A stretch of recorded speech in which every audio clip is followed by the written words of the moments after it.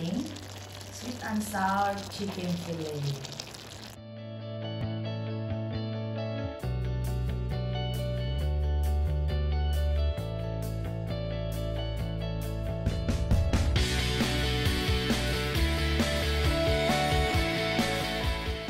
So 400 grams of chicken breast.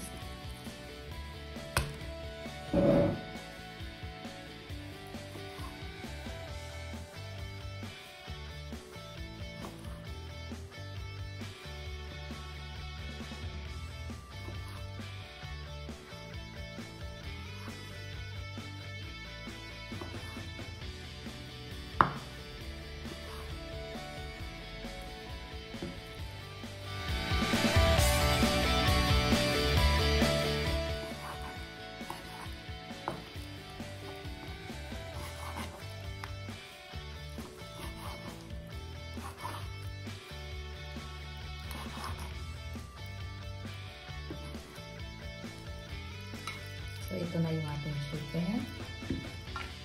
So, lagyan natin to na ating black pepper powder.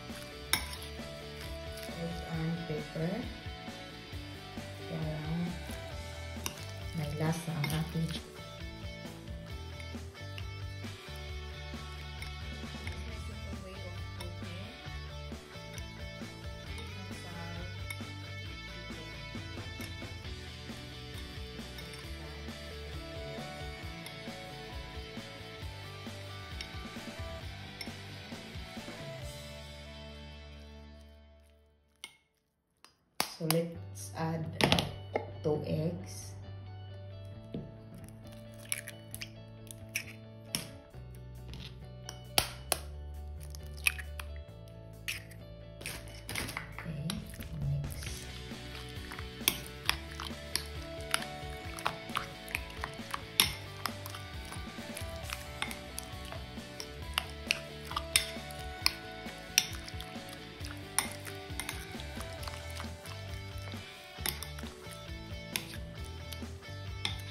So, isip aside muna natin ito. Mag-prepare tayo ng iba nating mga ingredients.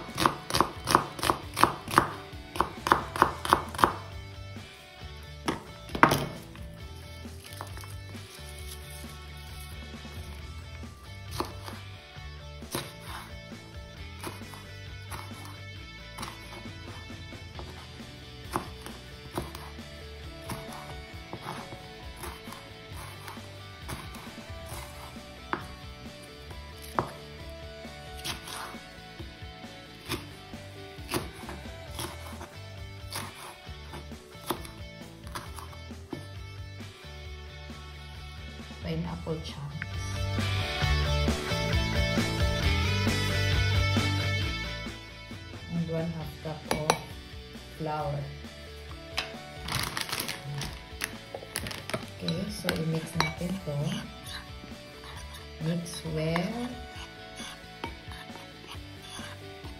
Pwede mag-add kung kulang. So, 1 tablespoon of garlic powder. 1 tablespoon of salt and pepper. Paprika.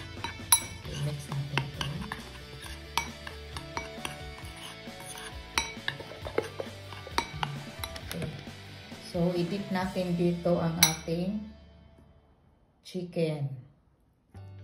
Yung chicken fillet natin. So, ganito lang siya guys. Simple. Very simple.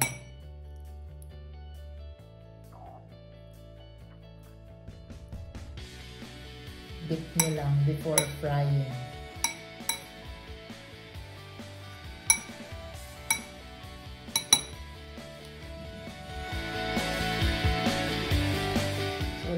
Oil. Maraming oil.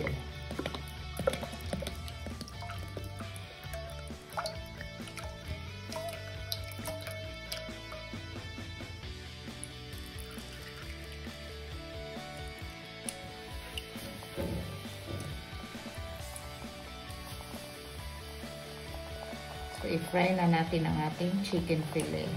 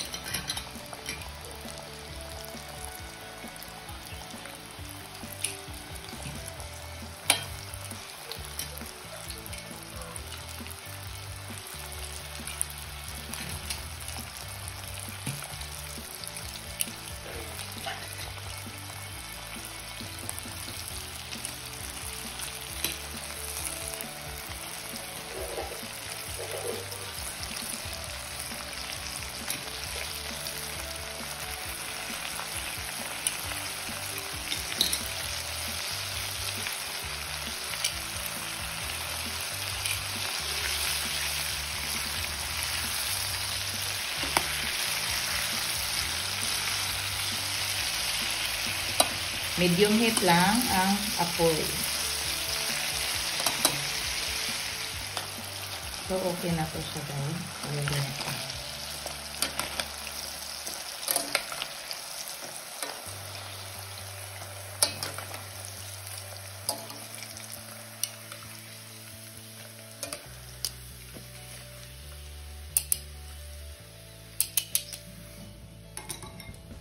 ating chicken fillet. So, magluluto na tayo ng ating sauce. Magpainit tayo ng cooking pan. So, let's add oil guys. 2 tablespoon of oil. Saute the garlic.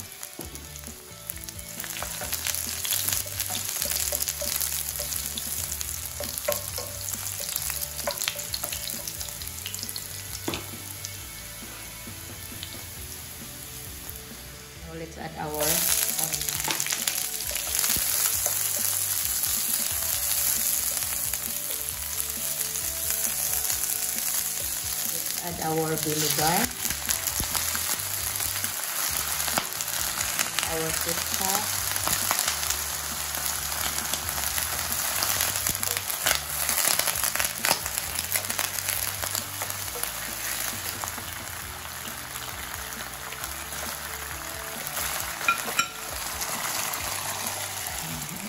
One cup of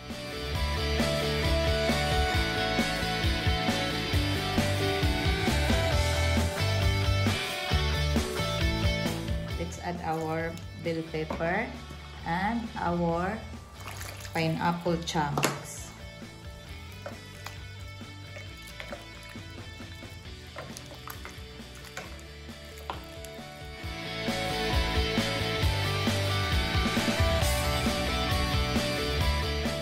So let's add 1 tablespoon of brown sugar.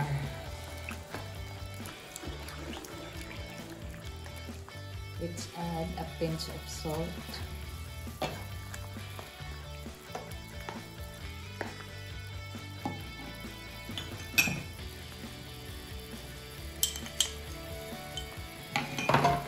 Let's add our cornstarch. 1 tablespoon of cornstarch and 1 tablespoon of water.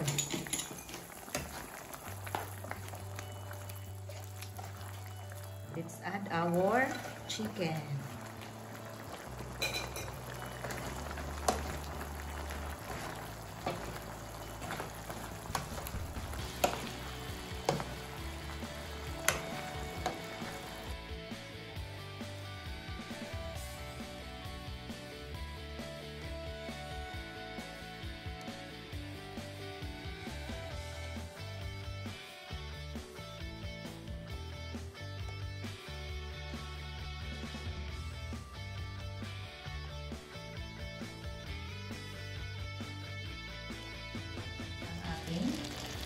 And sour chicken fillet.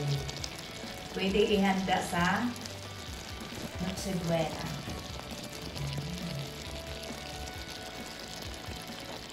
So, this is your kakaibang vlog. Don't forget to subscribe, like, comment, and share.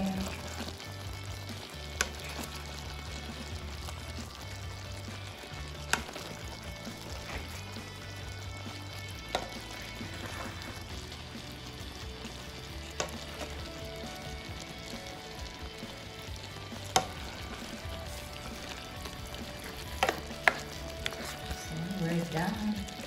So, ready to serve.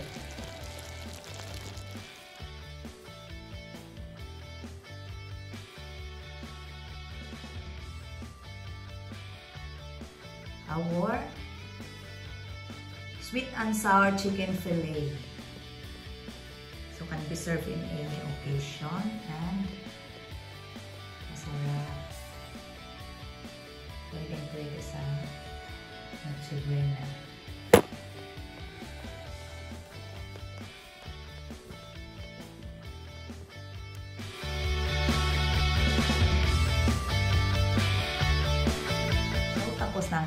Recipe.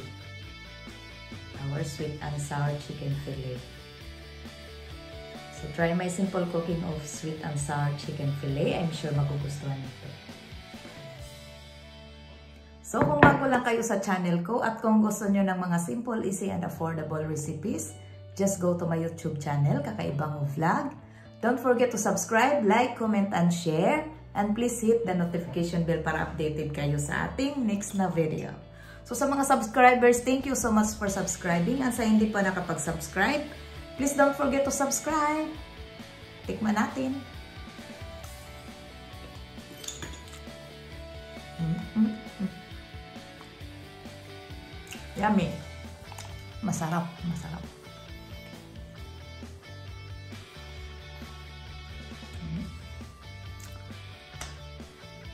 So, see you on my next video. Bye! God bless us all. Thank you so much for watching. Bye!